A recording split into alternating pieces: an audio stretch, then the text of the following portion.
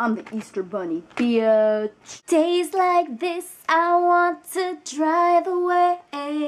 Then maybe my gym stalker will stop following me. It's official. I have a stalker at the gym. What the hell? Guess who's eating good tonight though? Yeah. This is my first vlog. Hey. Like first official vlog. Probably rant. Not sure what to call it yet. First, let me shout out to all the funny Beliebers that decided to dislike my last video, my outfit of the day for Easter, because I called Justin Bieber an asshole. Get over it. Beliebers are mad because I called Justin Bieber an asshole within like 10 seconds of my last video. But if you listened past that 10 seconds, you would have heard me say I hate that I love him. People stopped listening in 2012. I give up. Still haven't been able to paint my nails. Oh my gosh. Aren't these pretty? This is NYC Peaches and Cream, and this is NYC Lavender Cupcake. They're limited edition. Go go and get you some. I have a stalker at the gym, and it is kind of creepy, kind of scary, hella crazy. This reject Tim Allen, hella old, hella wrinkly, hella odd decides to follow me around the gym and this started last week or I noticed it last week. He's kind of ruining like my whole gym experience. I can't believe this. Me, of all people, little old Sabrina has a gym stalker.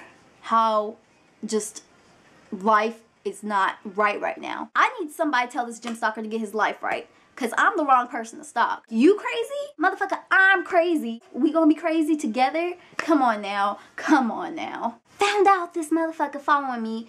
He's been following me for since last Monday. It just ain't right, dude. Who follows people around the gym? Really? Every section I go, he goes. Every machine I'm on, he's across from. Fucker, get your life right. Just can't believe it. Like, I am in disbelief. This asshole took it so far as to where he waited for me outside the gym. As soon as I got in the parking lot, he turned around and was like, Sabrina. Creepy. First off, how do you know my name? After he turned around and said Sabrina, I was like, oh, uh, don't, don't see my friend out here. Well, gotta go. Went inside and asked for security. security! And today, it's a whole other week. It's Monday. Fucking jerk is still at it. This motherfucker is over there. I'm in second class, working my ass off, you know. I'm on my bike. I'm doing it big. Dying. I'm so happy none of my Twitter followers um, go to my gym because I be having a struggle face. I be in that gym like, you know, on my bike or on the Stairmaster struggling. Today, while I was in cycle class, I didn't notice him. I don't know how long he was there, but in the last few minutes, I looked across from me outside the window. This fucker is sitting on a machine, a machine that you're supposed to be lifting weights with? Oh no, no, no. He wasn't working out at all. He was just sitting there, staring. Fucker, don't watch me, watch TV. Learn something. And watch everybody else lifting weights. Why not watch me? Huh? I'm not even that all, I'm, honestly, I'm not all that at all. Like, look at me. Come on, there's nothing to see here. Nothing at all. This whole stalker situation has me really pissed. Like, really, really pissed. And he had me all the way fucked up today when I, you're staring at me for over 30 minutes and you're not even working out and there's nothing I can do. Don't worry, y'all. I told the people that work at the gym about him. All they can do is have security escort me to and from outside.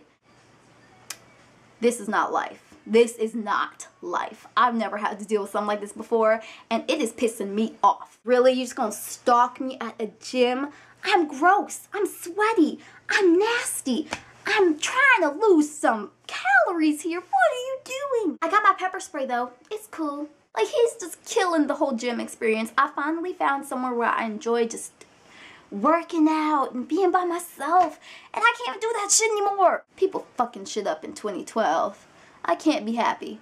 After watching some vlogs of mine, you guys are to probably be like, that girl is ratchet. A little ratchet. Just a little bit. One day, I want to meet Britney Spears, and she and I are to do ratchet things together. Hell yeah. Leggo.